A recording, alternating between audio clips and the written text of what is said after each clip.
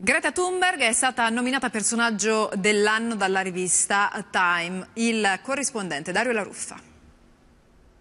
In piedi su uno scoglio fra le onde Greta Thunberg sulla copertina che il prestigioso settimanale Time dedica da 92 anni alla personalità dell'anno. Nel 2018 il riconoscimento andò ai giornalisti in pericolo nel mondo. La sedicenne ambientalista svedese ha battuto fra gli altri Donald Trump e i manifestanti di Hong Kong, riconoscimento conferito nel segno del potere della gioventù scalata fulminea di una giovanissima diventata icona che ha saputo toccare i cuori con attorno una rete di sostegno anche familiare. A metà 2018 lo sciopero del venerdì davanti a scuola per salvare il pianeta. A gennaio al summit di Davos chiede ai leader del mondo abbiate paura come ne ho io, agite. A settembre arriva a New York in barca e scandisce in assemblea alle Nazioni Unite.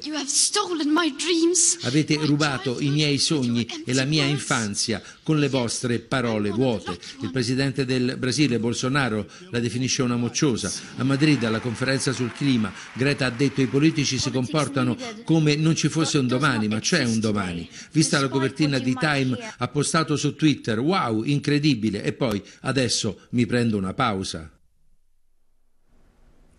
Miro, Chagall, Matisse e tanti altri nomi dell'arte del Novecento si confrontano col tema del sacro in una mostra ricca di opere mai viste prima. Tommaso Ricci.